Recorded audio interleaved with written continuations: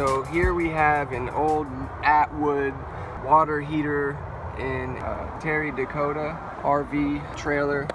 It is a water heater Atwood GC6AA10E model. And what we have here is I replaced the thermostat and the Eco thermostat inside there, plugged all the wires back in. I bought me a new control board just in case. This one looks pretty old. I might have to replace that, but right now I just took out the uh, drain plug, the anode rod. All I did was just, you know, crank it off there with this. We're gonna get in on the other side. On these particular models, the heating element is not on the outside of the unit, is on the inside. So we are going to go in there and take a look here. This is the inside of the RV. This is where these particular models are at. Enter in the backside to get to the heating element, which is right there. There's the heating element right there. It needs a special wrench to take it off. So what we're gonna do is disconnect the black wire with the Phillips head and the white wire here with the Phillips head. Now remember, before you do any of this, you gotta make sure that the power is off. So we got the power off to the water heater, as you can see. Not only that, but we also have that switch off as well, which controls the gas and the electric. In order to take this puppy off, like I said, you had to drain the water. And I have a towel here just in case any excess water comes out of here because as you can see, the uh, element is a little bit lower than the drain plug outside. So of course you're gonna get a little bit of excess water. You might want a towel. Here is the special wrench to take off this thing. It's about 10 bucks or something like that on Amazon. Put a link in the description. I'm gonna start cranking this puppy off. Alright, we got that sucker. Now we're gonna get around that wrench right there and crank this puppy out. I got this sucker around it. I got this flathead screwdriver in there just enough. Now on this particular model, um, it's facing towards me. I've seen other videos where it's on the side. Uh, either way, uh, you might need to take this unit out to do this job. Um, luckily, the, the element was facing me and gave me direct access as long as I take, took out these little boards here. I haven't experienced any water coming out yet. Um, I will keep you posted. I ordered the other element on Amazon. I'll get to that here in a second. Link will be in description on what heating element you need to replace. I'm in the process of painting right now, so don't mind that. Note to self, having the shop vac and a towel was a really good idea because it started pouring, gushing out. I don't know if I got it all. It gushed out and there was a lot. And I, you know, soaked it up in my shop vac. I had it ready. So yeah, just be ready for that. To attempt to take this out with one hand. And I did have to remove this bottom panel. As you see, I wouldn't have been able to lift it up, out. So that's a good indication of what you may need to do if your particular model is facing this way and you get lucky like I do. As you can see, this one's all rusted up. It looks like crap. We're gonna get some light in there. And as you can see, there's the hole. Remember, if you find yourself fighting with it and you can't get the new one in, it might be because the old O-ring is still in that sucker. So I got it out and it fit right in like a glove. Now I'm gonna crank it in. I got it nice and tight in there. Now, it's very important that you don't go rush and turn this thing on right away. If you turn anything on, the breaker, as well as the unit itself uh, without water in it first uh, this new element you replaced will fry pretty quickly. It's raining right now. I gotta go put the drain plug in turn the water back on and let this sucker you know fill back up with water check to see, make sure it's not leaking or whatnot. You might have to run back out there and shut the water off. It might be a two person job if uh, you want to get somebody on the phone or just if you're quick enough, run. All right, so I put the drain plug on outside. It was raining, so I didn't really show that part. I don't see any leaking and that's a good sign. So I'm going to continue to hook everything back up. I filled her up. I noticed when I hit this switch, which you know, combines the hot and cold together. You want to make sure this is this valve is not letting the hot water and cold water mix. But I noticed when I did let it mix, it filled the tank up faster. So needless to say, I'm gonna shut that off. I'm gonna go out there, make sure it's not leaking out of the drain plug, start hooking this baby up. All right, so I'm gonna open it up. I don't see any leakage coming from the anode rod drain plug. Now I read online that the Atwoods have an aluminum tank and if you have an aluminum tank you don't really need an anode rod and you can just put a plug in it. I don't know, somebody if you know about that put a, a comment down below. Let me know what you think but I don't have an anode rod in my aluminum, aluminum tank so I don't know if I'm gonna put the control board on I'm gonna you know crank everything up see if it works without it and I might just return that thing. I'm not sure, but I kind of wanted to have all new stuff. As you can see, this thing has been through hell. So at this point, guys, we turned the water on outside. I heard the tank fill up. You know, I turned the breaker switch on for the water heater. I turned the water heater button on in the front of the trailer. Now we're just waiting here. All right, so I installed everything and lo and behold, it didn't work. Dun dun dun. Well, did a lot of research, and with the multimeter, I went to the source. On these models, your battery, 12 volt, is hooked up to this right here.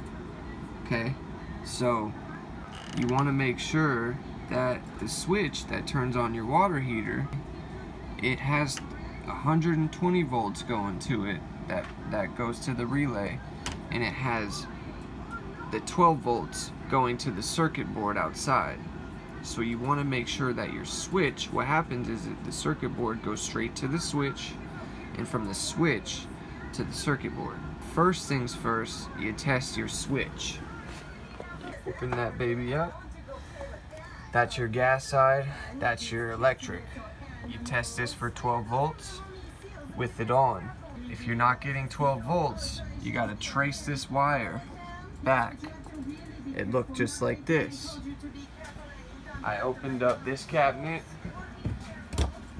I did the screws here, found out it went through the roof. And obviously, it's gonna come back down somewhere. So I opened up this. I found it coming down through there and I found the correct wire. I traced it into this circuit here and found that it was going into this circuit right here, which had a blown fuse.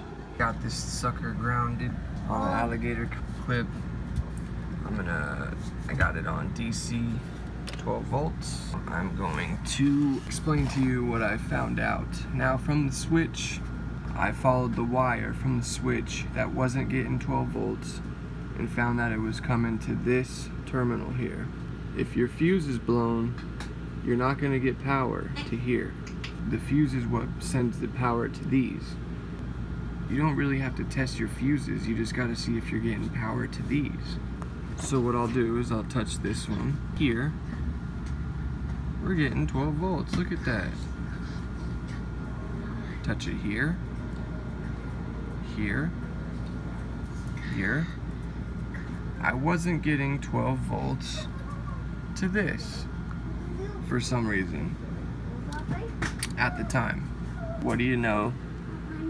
I'm getting power to that switch now. So always remember, follow the switch wire to this thing if you're not getting any 12 volt to the switch because that will not power your circuit board. you got to get yourself the voltmeter, put it on DC. You're to put the red one in the V with the little um, ohm symbol, MA. Red one goes there. Black one goes in the COM. You can pick one of these up at your local Harbor Freight for, you know, 10 bucks. I picked this up for $7. This is going to measure your DC volts coming from your battery, the 12 volt. This is going to measure AC current coming from your breaker box you know, where you're getting your shore power from. The switch in the front of the RV wasn't getting 12 volts of the power it was supposed to be getting. So I followed that to the circuit breaker, which I told you I had to reconnect that wire. Basically, what you need is on these two prongs here, on your water heater element, these two prongs need to read 120 volts your heating element needs that 120 volts. How this works is when you flick your switch on in the front, it sends 12 volts through a white wire to your circuit board outside. Your circuit board then powers on and sends 12 volts through the brown wires, which go to your thermostat and ECU basically reading the water temperature and going back to the circuit board to tell it, okay, now you got to tell the relay to turn on because it's too cold or it's too hot. Once it detects it's too cold and it needs to heat, it sends 12 volts through this yellow wire from the circuit board. If you're not getting 12 volts out of this yellow wire, it is not going to close this relay to let 120 volts go to your element. So if you're not getting 12 volts into this yellow wire, it's not going to close your relay, allowing 120 volts to your heating element. If you're getting 12 volts out of here and it's still not closing the relay, either you need to check your ground here, make sure you got a good ground, or you might need to replace this relay to get it to click over. So at this point, I'm like, oh my God, I wasn't getting voltage to the switch the entire time. I wasn't getting any power to the element, 12 volts. Now, I came out here, I put my multimeter to this white cord here. You get power from the switch that you turn on and off from the front to this white wire, which controls this control board here. You want to test the 12 volts coming in from this white wire. Needless to say, I'm getting 12 volts into this wire. The control board turns on from that 12 volts and it starts sending electricity through these brown wires which goes through your you know thermostat and eco it tests the water if it's too cold it's telling the control board we need to turn this heating element on because it's too cold or it's too hot and you need to stop working. This control board, if it's fried, will not send 12 volts to the yellow cord. It will not send 12 volts to the brown cord, which activates your thermostat. So if you're not getting voltage when this is plugged in on this yellow wire on the inside where your RV water heater is, if you're not getting 12 volts out of this circuit board, then you need to do some checking over here. Right now, I'm getting 12 volts out of this white wire into the circuit board, but I'm not getting 12 volts out of the brown wire. But when I turn on the gas, I get my clicking sound. So it's pretty confusing. These control boards can go on you First thing you want to do is check your, your fuse here because I called Atwood. That was the first thing the lady told me to check was this fuse. This fuse is good. I'm still not getting the 12 volts I need through the system. So when this control board comes in, hopefully it solves my problem. I'll keep you guys posted. So guys, after fiddling this, with this thing for like two or three weeks now, I don't know if you can hear that. But you see this little ghetto shit I got here? I pushed up on the terminal and one last little man, this connection must not be good. And I kind of pushed on it and I heard a noise. I heard a kind of like a whistling, humming little noise click on. And then two seconds later, I heard the relay click. I almost cried a little bit.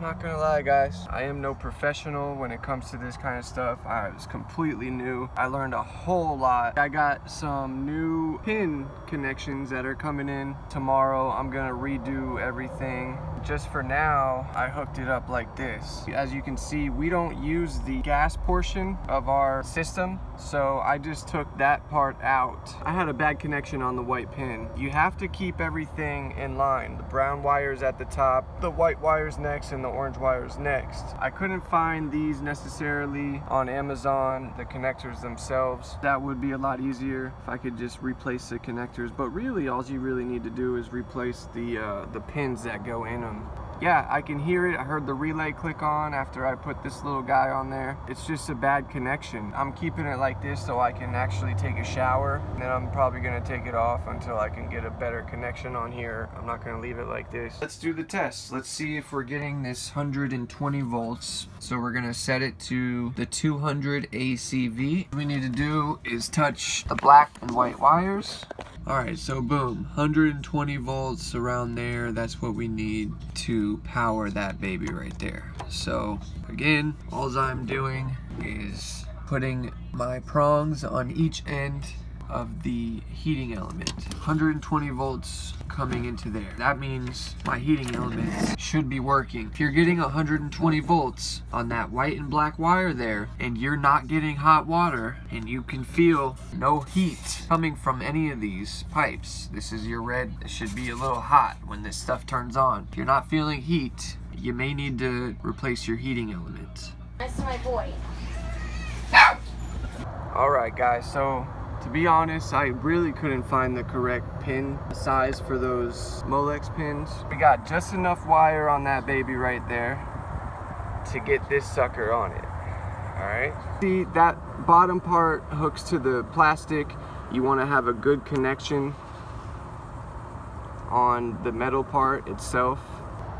The ones I purchased were not the, the right size, but luckily I used the male end of or the female end rather instead of the male end which I use on that one uh, we don't hook the gas up to ours anyway so I, I took the gas lead out I put a female pin on this one which happened to be a little bit thicker was able to grasp the the connection that we needed it's working pretty good. I gave it a nice wiggle test. And I can still hear a faint whistle coming from it. You can just slightly hear the electricity flowing through it once you get it to click. You might even hear the, uh, the relay click itself.